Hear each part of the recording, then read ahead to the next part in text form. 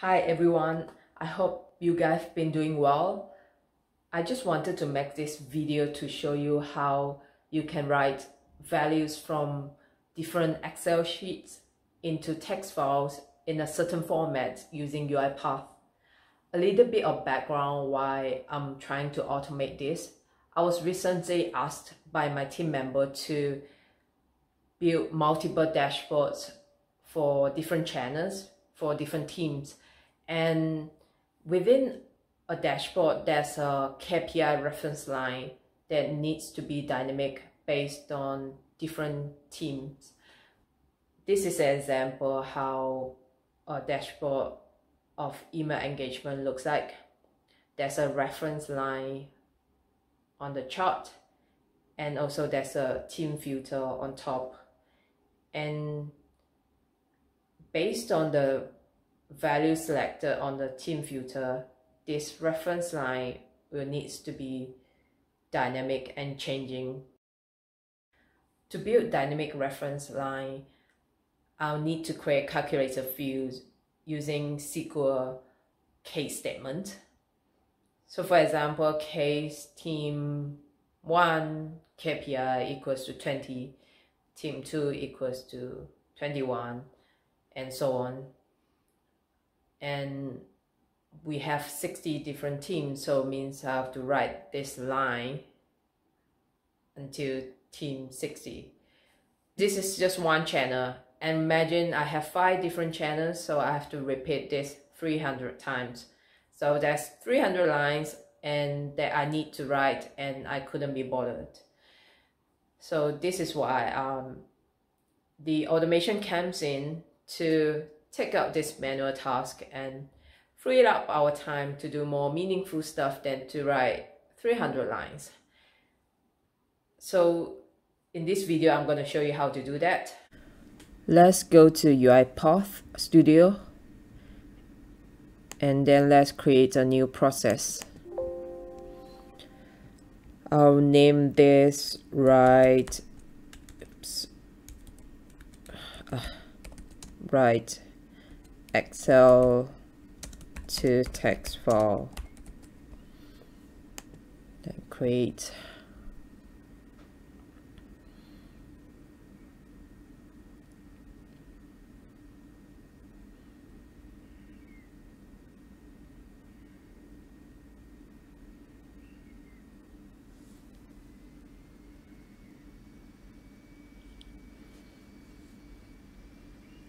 Um it's taking a bit of time today. Maybe I have overloaded my computer.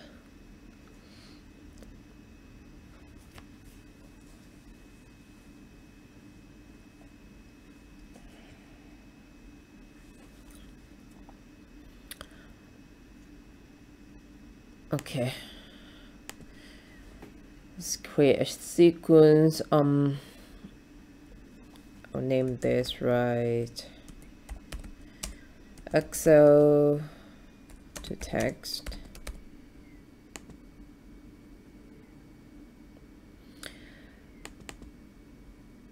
First thing let's find the Excel application scope Let's look at the Excel example. So this will be an example that I'm gonna write in the text. So I'll, I'm gonna turn this into SQL case statement. So as you can see, there are two different tabs, Facebook and Instagram. So I want to save this to tapped into separate text file and then each row into the SQL case statement.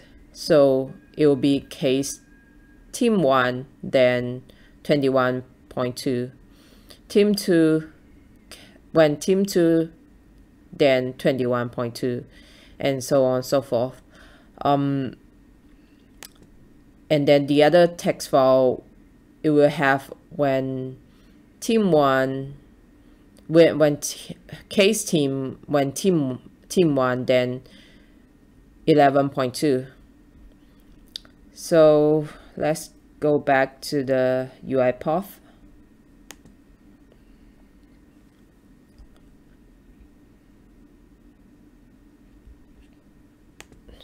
hold on just one second. Let me move this to the workflow that we just we just created. Oops. Let me close this first. Don't save. I'll try again. So I've just copied to, to the folder we've just created. Um, and then next thing locate this Excel file. So the next thing is uh, I want to make sure I get all the worksheets from this Excel file. So as you can see, we have two tabs, two worksheets. I want to make sure we get each of them and then read all the values from each of them. So the next step is get work, workbook sheets.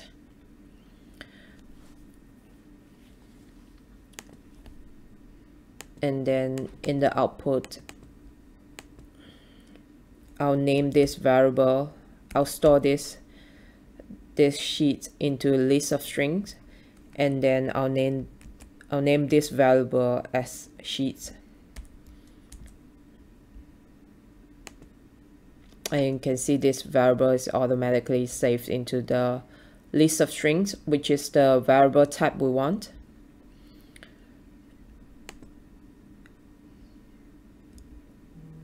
so once we have all the sheets in the list we want to loop them so I want to loop for each for each sheet in the list of sheets.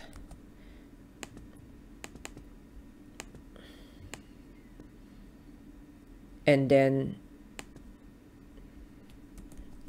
once I have looped each of them, I want to read range. I want to read all the values within the sheet. So I'll, okay, what's the error? okay we have to change this into string so you can see the argument is object we need to change it to string so the error is gone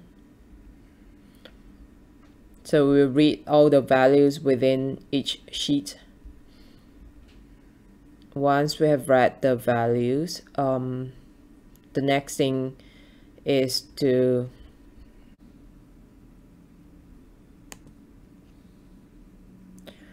look through each row within the Excel worksheet and then write them into SQL case statement.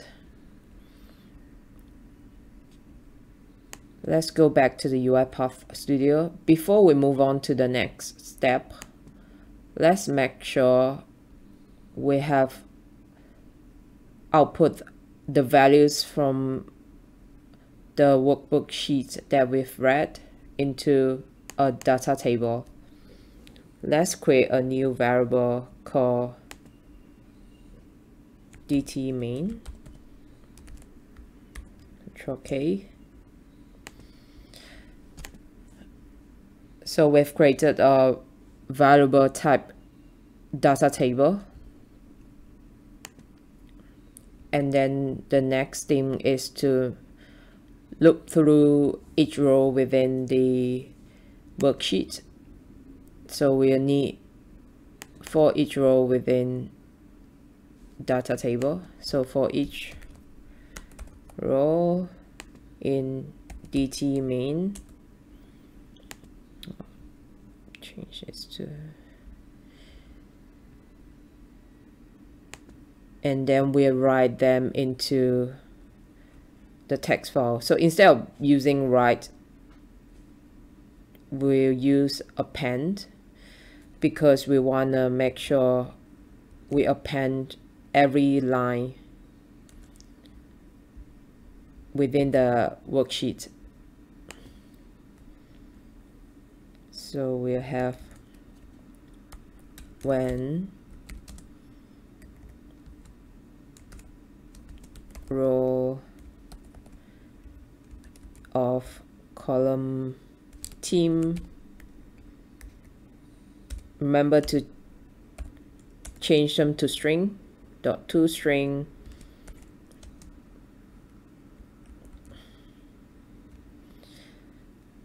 when team one then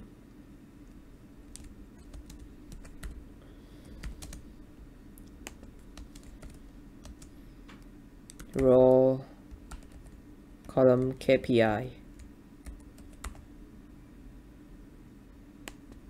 so this will give you oops sorry forgotten myself to string. So you see if you if you do not change it to string they'll give you it will give you an error file name is awesome. okay we haven't even put our file name yet um and I wanted to output the workbook sheet name into the text file name. So I'll use sheet dot txt. So this will give me text file name using the name of the worksheets, which is Facebook and Instagram. So that is all. Let's just run the workflow and see if we get the output we want. okay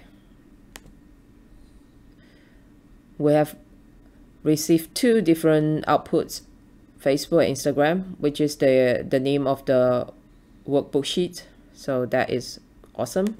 Let's go to the first one. Yes. I've output each row on the Facebook worksheet into the SQL case statement that I want.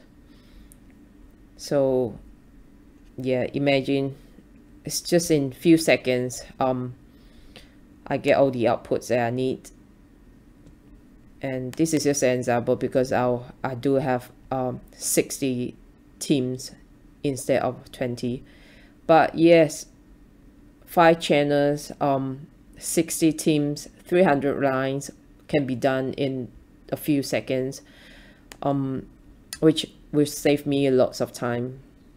And um yeah i'm very happy about automating this. Um i hope i hope this give you an idea how you can automate a tedious task like this every day at work and